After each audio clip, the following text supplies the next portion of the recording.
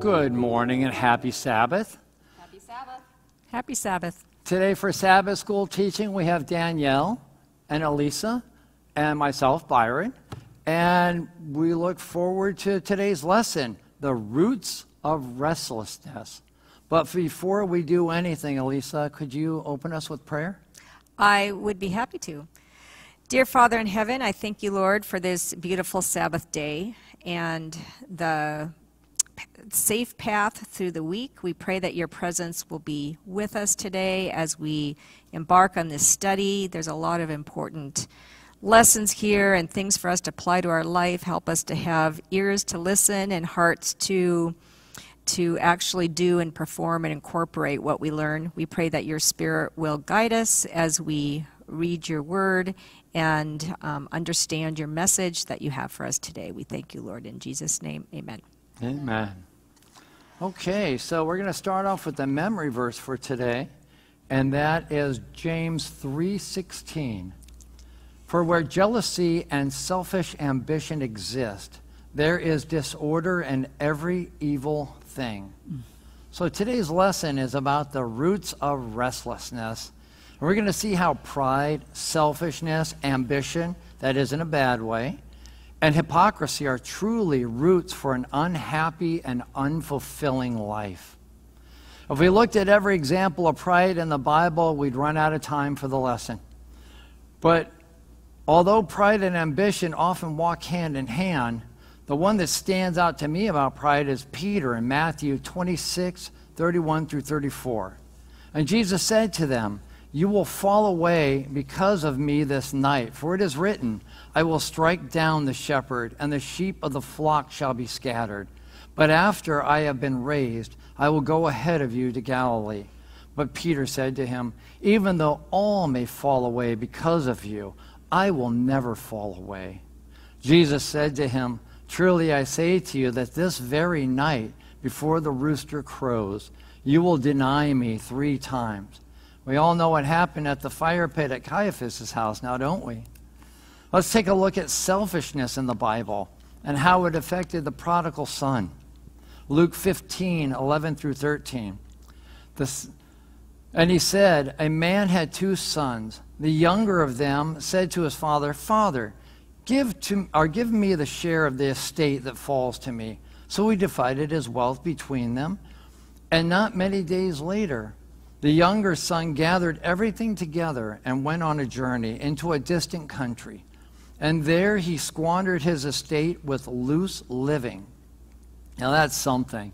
The younger son asks for his inheritance before the father dies, then runs away from the family to live it up. No, that's not selfish. Okay, really is. Sounds like every one of us probably when we are young, perhaps. And then when it comes to ambition, I think John and James pull out all the stops in Matthew 20, verses 20 through 24. Then the mother of the sons of Zebedee came to Jesus with her sons, bowing down and making a request of him. And he said to her, What do you wish? She said to him, Command that in your kingdom these two sons of mine may sit one on your right and one on your left. But Jesus answered, You do not know what you are asking. Are you able to drink the cup that I am about to drink? And they said to him, We are able. He said to them, My cup you shall drink, but to sit on my right and on my left is not mine to give but it is for those for whom it has been prepared by my Father. And hearing this, the ten became indignant with the two brothers. I love that. They even tried using their mother as an angle or an edge for their own advancement. Now that is something. That, that's ambition. And finally, hypocrisy. From the Greek word hip, hypokritos or krites, which originally meant a pretender. It was used, a word used for actors, pretended to be something they're not. Galatians 2 11 through 13, Peter's hypocrisy. But when Cephas, or Peter, came to Antioch, I opposed him to his face, and this is Paul speaking, because he stood condemned. For prior to coming of certain men from James, he used to eat with the Gentiles, but when they came, he began to withdraw and hold himself aloof, fearing the party of the circumcision.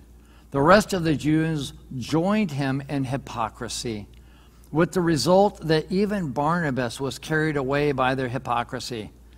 I love that. Barnabas, the son of encouragement, the one who stood up for Saul and brought him in is even carried away by the hypocrisy and distancing himself from the Gentiles, which God clearly said, I, salvation is for them as well. That is some powerful sin. Oh, I mean restless roots. Really, you know they're the same. So, on that note, Elisa, can you tell us about Sunday and how Jesus brings division and how all these things work in? Sure, that would be great. So let's get started with this day's um, topic and read Matthew 10 34 to 39. And it says, Do not think that I came to bring peace on earth. I did not come to bring peace, but a sword. For I have come to set a man against his father, a daughter against her mother, and a daughter in law against her mother in law. And a man's enemies will be those of his own household. He who loves father or mother more than me is not worthy of me, and he who loves sin, oh, excuse me, who loves son or daughter more than me is not worthy of me. And he who does not take his cross and follow after me is not worthy of me. He who finds his life will lose it, and he who loses his life for my sake will find it. So Jesus' words seem to be counterintuitive to this quarter's theme of rest in Christ. Throughout the Bible, we learn of Christ's work to reconcile fallen man to God. We read of Christ leading nations and people out of slavery, calming the seas, raising the dead, healing the sick, comforting the heartbroken, and indeed in Isaiah's prophecy of the coming Messiah in Isaiah 9 6, Christ is called the Wonderful Counselor, Mighty God, Everlasting Father, and Prince of Peace. So, are these words of Jesus in Matthew 10 contradictory to what the Bible teaches about rest in God? And what does Jesus mean when he said he did not come to bring peace, but a sword? So, to understand, let's take a look at that first sentence in verse 34. Jesus said that he had not come to bring peace on earth. Indeed, throughout the Bible, we see conflict on this earth between God and Satan, between good and evil, between fallen man and God's law. And as we read in verses 35 to 39 of Matthew 10, often this division is with family members and those closest to us, making this conflict very personal. Let's take a look at a few examples. In Genesis 3:15, we read, that after Adam and Eve's fall, the Lord said to the serpent, And I will put enmity between you and the woman, and between your seed and her seed. He shall bruise your head, and you shall bruise his heel. And in 1 Kings 17 and 18, we read of the conflict between Elijah and King Ahab, and between God's people and the prophets of Baal and the apostate government. And then in Matthew 26 and 27, we read of Jesus' betrayal by one of his disciples, Judas, and denial by Peter, and the abandonment by the other disciples when Jesus was taken away. In fact, in Matthew 26 57, it states, Then all the disciples forsook him and fled. Furthermore, in Matthew 10, Jesus said that if we love anyone more than him and do not take up our cross and follow him, then we are not worthy of him. These words expand upon the first commandment, which is, Thou shalt have no other gods before me. To receive true rest in Christ, we must choose to put him above everything else and follow Christ's example of being fully submitted to the Father's will. So, in summary, when, when Jesus came and there was division, it was essentially the effect of Jesus coming to earth and not his purpose. So, Daniel, would you like to go ahead and expand on some of these human traits that are the roots of our restlessness? So, um, Monday's lesson it's titled selfishness, and it's uh, what I'm supposed to cover. And I must tell you that I started preparing, sort of thinking this is an easy thing. I'm going to do it just fine. But as I was preparing and looking at definitions for selfishness, causes and effects, it's almost like as the more I looked, the more it was things were throwing. I became sort, sort of dizzy, thinking, how am I going to cover this? It's just too overwhelming, too big of a subject. There's so many aspects to it. So I had to kind of pull back, pray, and look back at the Bible to find a definition for selfishness, sort of in a backhanded kind of way. So join me on this exploration. Uh, we're going to look to deduct this definition at Philippians chapter 2, verses 1 through 4. So it states, Therefore, and this is the Apostle Paul talking to the Philippians, and he states, Therefore, if there is any consolation in Christ, if any comfort of love, if any fellowship of the Spirit, if any affection and mercy, fulfill my joy and being like minded, having the same love, being of one accord, of one mind. Let nothing be done through selfish ambition or con- conceit. But I'm going to stop for a second. What he's saying to them, he's doing sort of a flowery introduction to them, and he's saying that he loves them and that they're in his heart and if they could fulfill he had joy in them but he wants that joy to be complete and he's asking them to do this. And what he's asking them is let nothing be done through selfish ambition or conceit but in lowliness of mind let each esteem others better than himself let each of you look out not only for his own interests, but also for the interests of others. So, literally, I'm doing a reverse definition here. if we are not selfish, then we would be doing things without selfish ambition and we would be doing it with lowliness of mind. So, if we are selfish, then we would not be doing it for others, we'd be doing it for ourselves. We would not be esteeming others above us, we would kind of think we're most important. And uh, we would not be looking at other people for other people's interests, we'd be looking for ourselves. Really, that's the definition, deducted backwards from this text. And you can see where this is probably the simplest form that I could find of, of figuring out what it means. It means purely thinking of others. And we're looking at examples in the Bible. We know already as we've studied Christ and as we looked, and the things that drew us to Christ is exactly that that He always looked out for others, that He always looks out for our interests, that He puts our future, He put our future above His life. Mm-hmm. Um, so it's becoming very clear as we stop, stop and meditate on that. But let's continue a little bit. There's another text that's like um, in Mark 8:34 he's giving us a command, basically.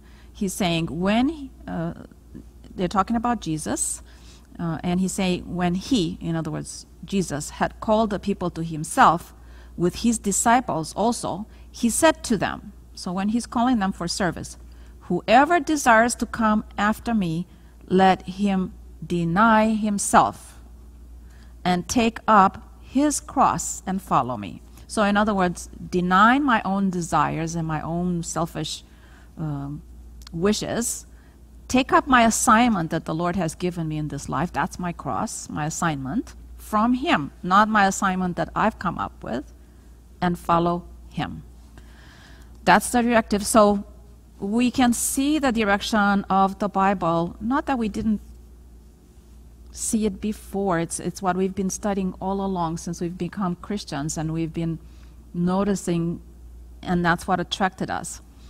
We see the beauty of it, the beauty of it sparkled to us and caught our eye, and then we explored it and wished to be just like Him.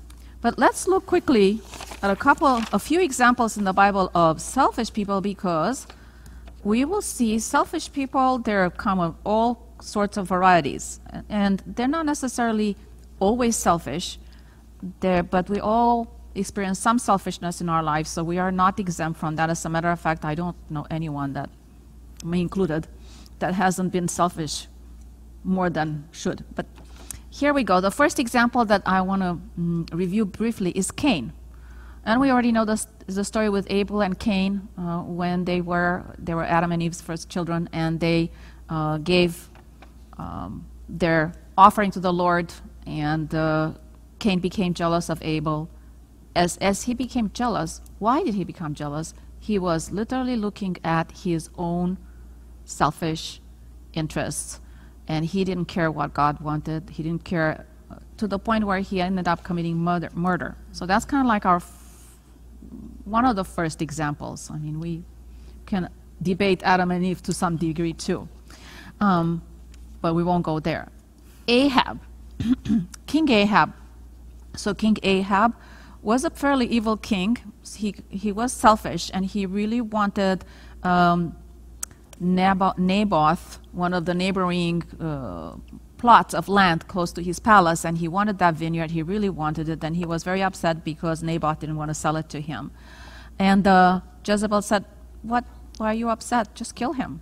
And sure enough, he, he thought that's a brilliant idea, and he went right ahead and killed him. That's like textbook selfishness. And he didn't. When he got, it says that when he when he received the property after Naboth died, he rejoiced. So there was no, he never stopped to think of one minute of Naboth or his family or anything or anyone, but wanting a vineyard. David. Now, David, maybe we can compare him in some ways to us because we our heart is for the Lord, and so was David's. But he also faltered and he made a incredibly selfish decision when he because he desired Bathsheba, he killed his own beloved general in order to save his pride and get her at the same time and cover for his um, sin. Uh, but he turned around. But that's another example. And so on and so forth. I'm going to stop there because we can really go ad infinitum, and that's not what's important. What's important is really the invitation that God has for us through his example to us and the invitation that he has for us in in not being selfish we already reviewed in mark 8.34 but we want to see his example in philippians chapter 2 verses 5 through 8 it says uh, and this um, yes uh, so here is paul he's describing to the philippians we read verses 1 through 4 in the very beginning when he's inviting them to, uh, you know, esteem others above themselves and to help others. And then he goes right into these verses and he continues telling them about Christ. In your relationship with one another, have the same mindset as Christ Jesus, who being in every in very nature God, did not consider equality with God something to be used to his own advantage. Rather, he made himself nothing by taking the very nature of a servant. Being made in human likeness and being found in appearance as a man, he humbled himself by becoming obedient to death, even death on the cross. So when when we're looking at this, this is, uh, and I'm going to summarize this section and end it with these verses, but I'm going to talk just a little bit about the verses. This is considered like the cascade of love that Jesus gave to us. And it is the most stark example of lack of selfishness, which is what we aspire to.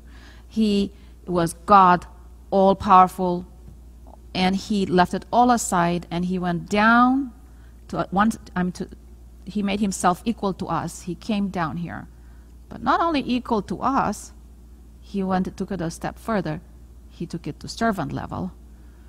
And not only to servant level, he cascaded it even down further to death. And not only to death, but the worst kind of death on the cross. All because he wanted us to be with him, and all because he was looking out for us. Amen. I love that. There's a phrase um, that I've heard many times. Says, Heaven is a place where everyone is more concerned about everyone else than mm-hmm. themselves. Mm-hmm. Mm-hmm. I like that. So, we're going to look at um, Wednesday, or actually Tuesday, and ambition. Oh, where do we begin? Ambition, in its own right, what is ambition? The definition, according to Merriam Webster, is the ardent desire for rank, fame, or power, which is what people think of, or a desire to achieve a particular end or goal. Another definition is an object of ambition. In other words, you had an ambition to start your own business. And the third definition is a desire for activity or exertion. And, and the opposite of that, for instance, an example would be if you felt sick, you had no ambition at all, no motivation to do anything. So, is ambition a bad thing? Not necessarily. Ambition in and of itself isn't good or bad. It depends on what you're ambitious for. We have plenty of bad examples of ambition in the Bible. I'm going to read a few of them for you. Um, we're going to take a look at Luke 9, 46 through 48, the test of greatness. An argument started among them, this is the apostles, as to which of them might be the greatest. But Jesus, knowing what they were thinking in their heart, took a child and stood him by his side and said to them, Whoever receives this, this child in my name receives me. And whoever receives me receives him who sent me. For the one who is least among you, this is the one who is great. And I actually want to read, I'll go ahead and read it Matthew 18, 1 through 4. It's very similar. At that time, the disciples came to Jesus and said, Well, who then is the greatest in the kingdom of heaven? And he called a child to himself and set him before them and said, Truly I say to you, unless you are converted and become like children, you will not enter the kingdom of heaven. Whoever then humbles himself as this child, he is the greatest in the kingdom of heaven. We can look at Mark 9 33 through 35. We see a pattern beginning here, by the way, in Scripture. Um, Mark 9 33 through 35. Then they came to Capernaum, and when he was in the house, he began to question them. What were you discussing on the way? So apparently they're having talking about something before they got there, but they kept silent. For on the way they had discussed which one or which one another, which of them was the greatest. Sitting down, he called the twelve and said to them, If anyone wants to be first, he shall be last of all and servant of all. Now, they're disputing which one of them is the greatest in the Last Supper. And this is in the lesson in verses 14 through 30 in Luke 22. I'm only going to read 24 through 27. And there arose a dispute among them as to which of them was regarded to be the greatest. And he said to them, The kings of the Gentiles lord it over them, and those who have authority over them are called benefactors. But it is not this way with you. But the one who is greatest among you must be like the youngest, and the leader like the servant. For who is greater, the one who reclines at the table or the one who serves? Is it not the one who reclines at the table? But I am among you as the one who serves. In other words, the ambition of the world and the ambition for the kingdom of God are complete opposites. And we see in Matthew, and you can see even Jesus is equating this. They have authority over them, they have power over somebody, and yet he's saying his greatness comes from giving and not lording it over anyone. Your greatest gift you could ever have is to give. So in Matthew 20, 20 through 24, and we had this in the introduction, um, the mother of the Jam, Jam, or John and James, petitioning for their sons to be at first and second. So they literally are trying to buck for the first and second position of powers right after Jesus. And that is something that, that still confounds me. So, what was the ambition of the disciples? What did it really come down to?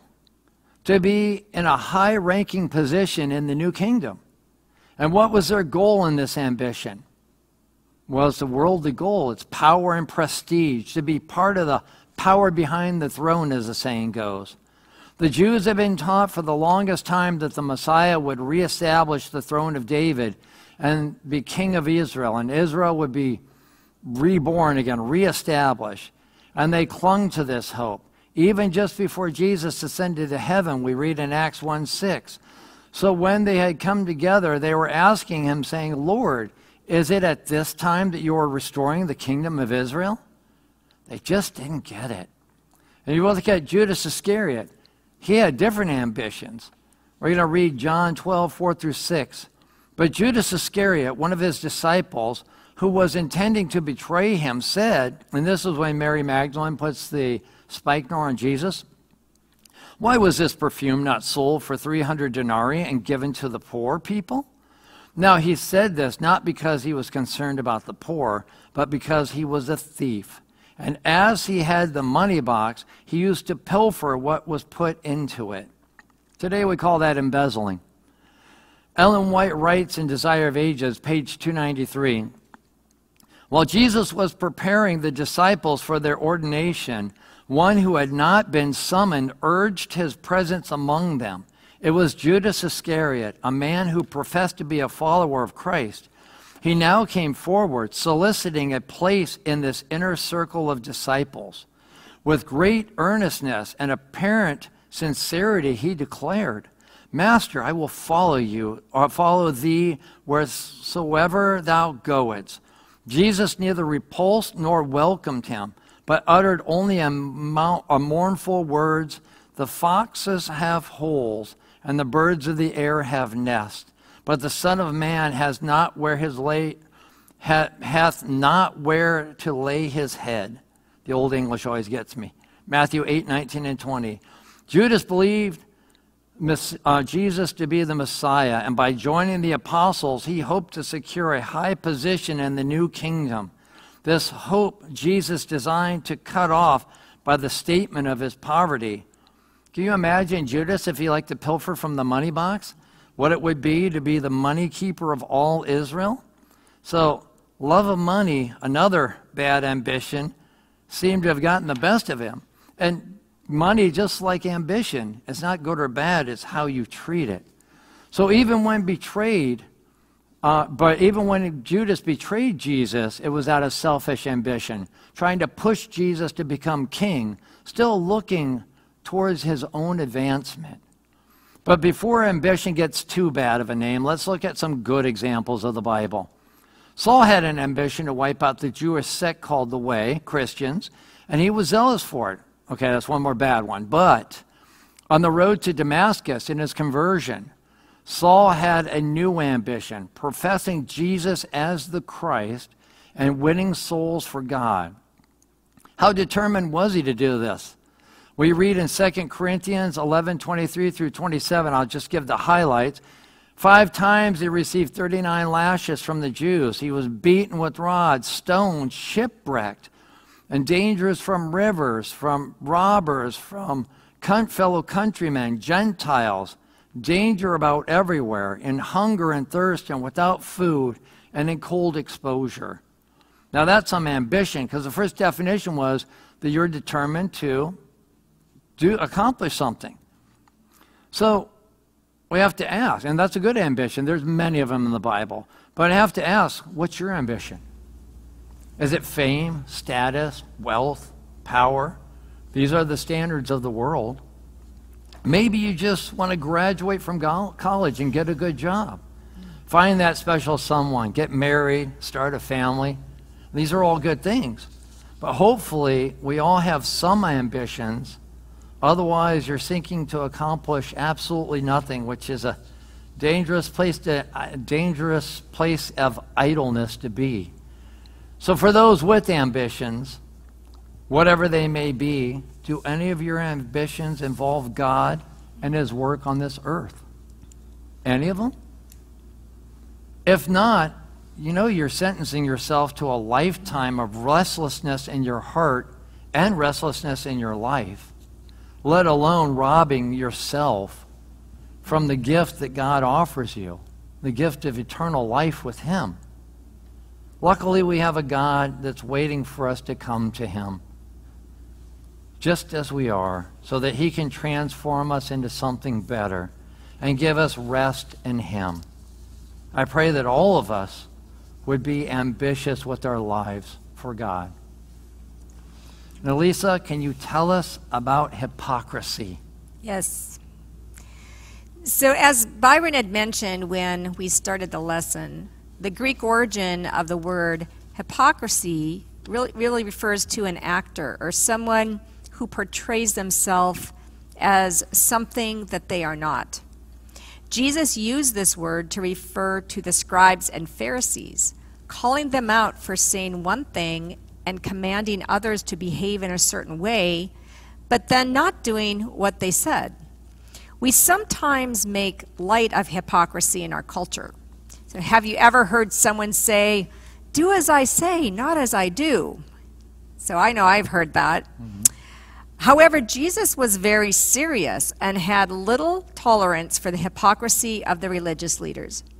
Let's read Matthew 23 1 to 13 to see what Jesus said about hypocrisy. and it says, Then Jesus spoke to the multitudes and to his disciples, saying, The scribes and the Pharisees sit in Moses' seat. Therefore, whatever they tell you to observe, that observe and do but do not do according to their works. For they say and do not do. For they bind heavy burdens, hard to bear, and lay them on men's shoulders, but they themselves will not move them with one of their fingers.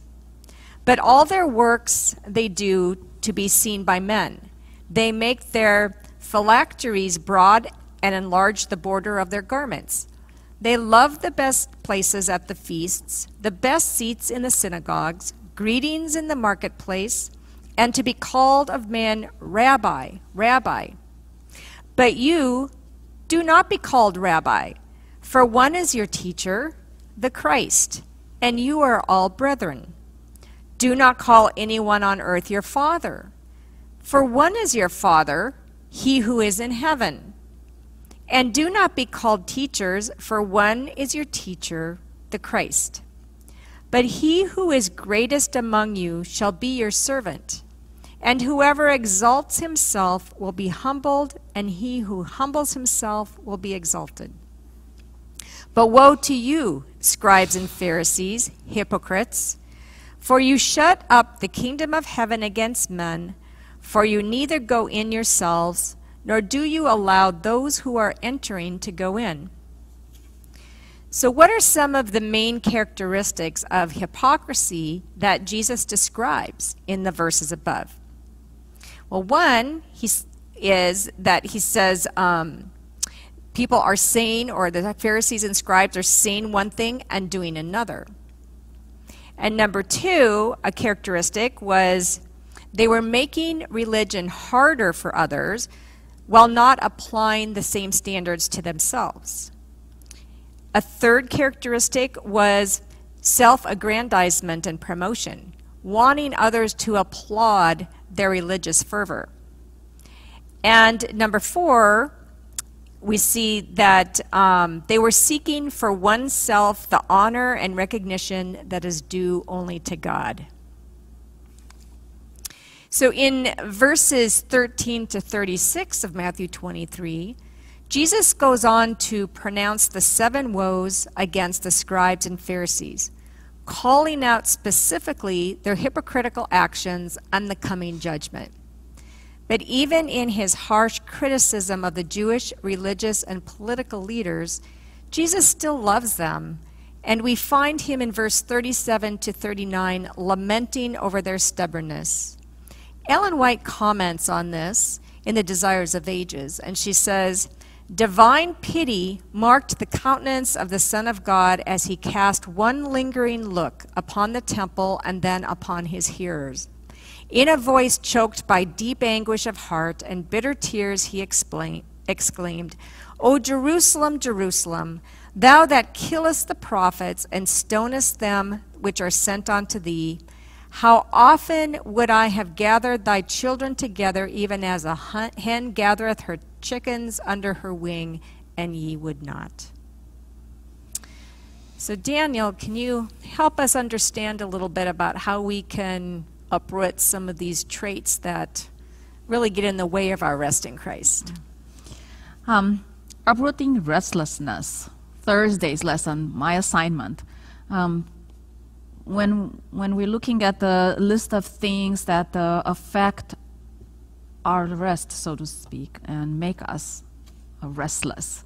Uh, the things that we were reviewing in this lesson, because there's so many variations, but um, we were reviewing specifically division and selfishness and ambition and hypocrisy and uh, as impediments to us truly finding rest. Because what this quarter is all a study about rest and arriving to this elusive rest and how does it come about. Um, the first text that I like to, but before a text, mm, we are in a battle. We, as Christians, when we have chosen the side of Christ, Satan is attacking with all its forces, and it, it we are. Um, our lives are resulting in a lot of restlessness because we are under attack. And actually, on this earth that we live, which is so engrossed in sin, um, life seems to be restless continuously for most. But as Christians, we have experienced rest and peace. And the Bible tells us very clearly why we experience rest and why and how.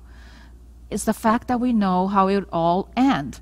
It, it, we don't have the unknown in front of us of what the future will bring. In John 14, verses 1 through 6, it tells us, let not your heart, and this is an invitation to us, let not your heart be troubled. You believe in God. Believe also in me. In my Father's house are many mansions. If it were not so, I would have told you. I go to prepare a place for you. And if I go and prepare a place for you, I will come again and receive you to myself. And where I am, there you may be also. And where I go, you know, and the way you know.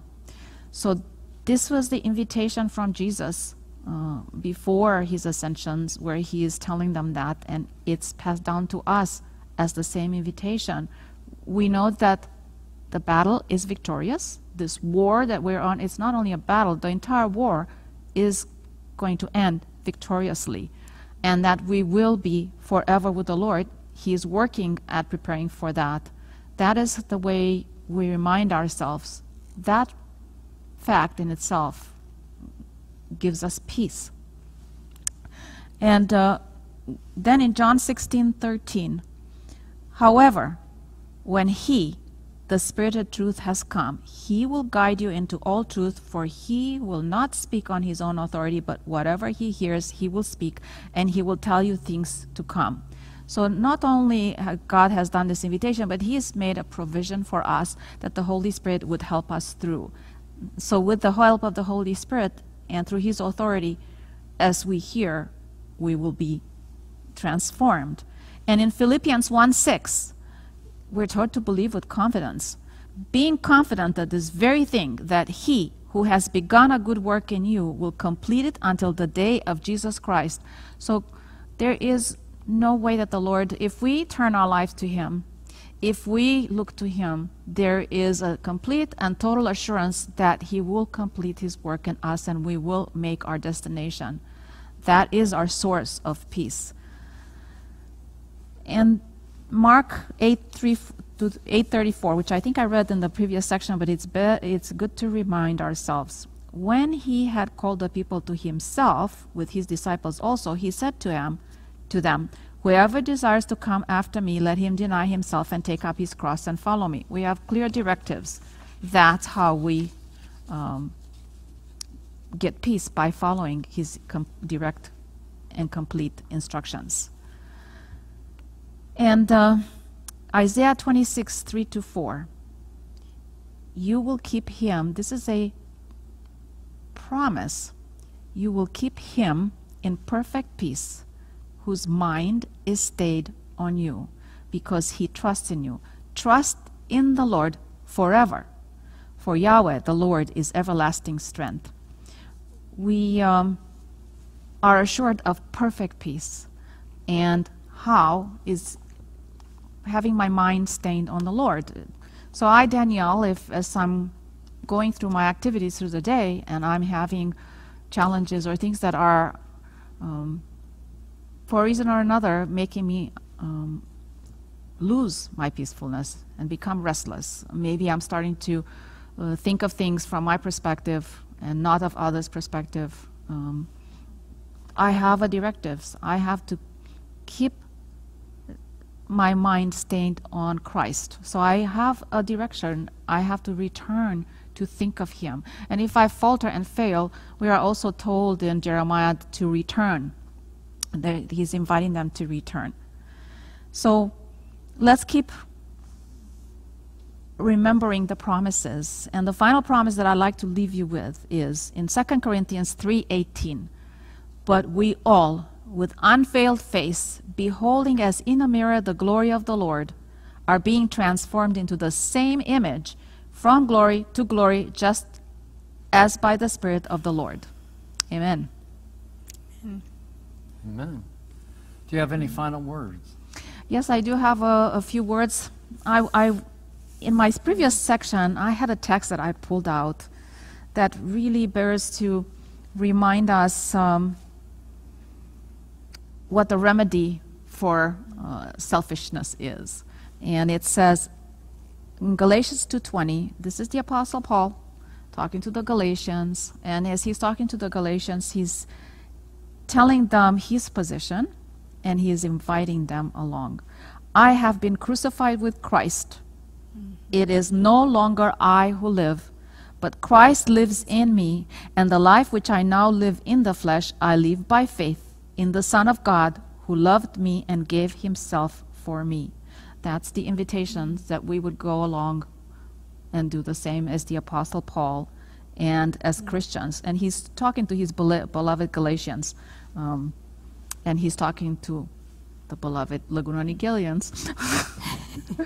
he's talking to all of us. us right. Elisa? Yes. any final thoughts? Yeah, I do. Um, you know, at, at the root of most, if not all sin, is love of self and pride.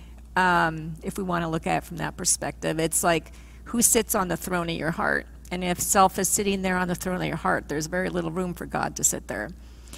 Um, but at the same time, what you mentioned about ambition, in terms of ambition in and of itself, is not bad, it's what you do with it. Love of self is not bad either. In fact, in the Bible, it, um, we are told that we should love our neighbor as ourselves. So God knew we would love ourselves because if we didn't, there probably would be very little self preservation. Mm-hmm. Right. However, again, it is what are you doing with that love of self? Are you putting it on the throne of your life, or are you submitting it to God and having Him on the throne of your life? And I think that's the difference. Does it supersede your love for God? Right. Excellent. And I know I, I I, think. I had a thought. Yeah. It's because I, I had a thought that the Lord wants us to change our ways from looking at things specifically, changing from grasping to giving, changing from um, self promotion to promoting and taking care of others, exactly what Christ did, and from um, focusing on self, again, focusing on others. And that in itself come, won't come natural, but it will come as we keep looking at the Lord and following Him. It's just, He'll t- make it happen. Mm-hmm. Amen. Amen. And I'd like to read for final thought something from Ellen White, Steps to Christ, chapter mm. 5, consecration. God, or God's promise is, "Ye shall seek me, and find me when ye shall search for me mm. with all your heart. And that's Jeremiah 29 13. The whole heart must be yielded to God, or the change can never be wrought in us by which we are to be restored to his likeness. By nature, we are alienated from God. The Holy Spirit describes our condition in such words as dead in trespass and sins. The whole head is sick, and the whole heart faint, no soundness in it. We are held fast in the snare of Satan, taken captive by him at his will. And that's all in Ephesians 2 1, Isaiah 1 5 and 6, and 2 Timothy 2 26. God desires to heal us, to set us free. But since this requires an entire transformation, a renewing of our whole nature, we must yield ourselves wholly to Him. The warfare against self is the greatest battle that was ever fought. I'm going to say that again because it's just, we are our own worst enemy. The warfare against self is the greatest battle that was ever fought. The yielding of self, surrendering all to the will of God, requires a struggle, but the soul must submit to God before it can be renewed in holiness. And we look at it pride, selfishness, bad ambition, and hypocrisy are all rooted in our carnal flesh. I mean, we're born to sin, or at least tendency for it, and will remain in our bodies until we're either glorified or deceased. I've read enough self help books in my past to know that if I change my behavior, eliminate a triggered response, and if you've ever read these things, you know these phrases or even if you believe by yourself, you've uprooted one or all of these roots of restlessness, you're deceiving yourself. Just like the weed in the garden that has only part of the root removed, hmm. it will grow back and grow back quickly. Yeah. As Ellen White stated, by yielding ourselves wholly and completely is the only way to be transformed into His likeness and to stifle those roots growing. So, and really, even Paul talks about it in Romans in chapter 7, verses um, 14 through 21, about the conflict of the two natures. We're born to sin. So here's the petition Are you coming to, to the cross daily? Surrendering yourself to God and coming to the foot of the cross so that you, you may have His life in you and that your life may be put to the side that you can have that life abundantly through Christ Jesus, and that God can stifle the growth of those roots so that you may actually produce good fruit rather than bad fruit. That's the petition. That's something we all need to do for all of our lives. Mm-hmm. And by the way, if you see all of this behind us, it is VBS Sabbath. So the lamb and the elk and all this. So just so you know, we're not on a movie set. We're still at Laguna Niguel. And on that note, um, let's pray. let's bow our heads. Our Heavenly Father, you are the source of light, life. You are the source of light as well. You are the source of everything that is good, pure, and true. Even when Jesus was asked and said, Good teacher, he said, Only God is good. Lord, our prayer is that you dwell in each and every one of us, that you open our eyes and you open our minds, that we truly might see the condition that we are in, and that you might put it in our thoughts, the condition you want us to be in, Lord, that we might grow closer to that original image of you that we had in the Garden of Eden. Lord, only when all of this is done, and sin is done away with, will that come to pass. But Lord, you can transform us every day of our lives. Teach us to seek that. Send the Holy Spirit to impress that on our hearts, that we look for it daily, that it becomes a habit or a ritual in our own lives, that we may truly see the wonderful things that you have in store, not only for us, but that you want us to do for others on this earth to represent you proudly and boldly, Lord. Thank you for your mercy and grace and the gift of your Son, Jesus Christ, who without his sacrifice, none of this would be possible. We pray all these things to you, our Father in heaven, through Jesus Christ our Lord. Amen. Amen. Amen. Happy Sabbath. Happy Sabbath. Sabbath.